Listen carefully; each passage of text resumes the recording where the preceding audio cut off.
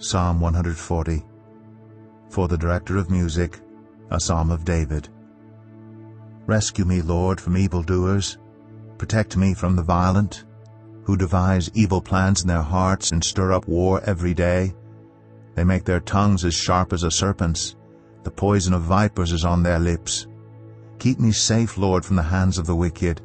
Protect me from the violent, who devise ways to trip my feet. The arrogant have hidden a snare for me. They have spread out the cords of their net, and have set traps for me along my path. I say to the Lord, You are my God. Hear, Lord, my cry for mercy.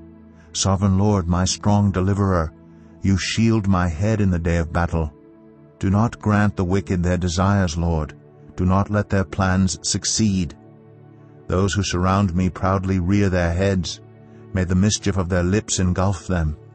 May burning coals fall on them. May they be thrown into the fire, into miry pits, never to rise. May slanderers not be established in the land. May disaster hunt down the violent. I know that the Lord secures justice for the poor and upholds the cause of the needy.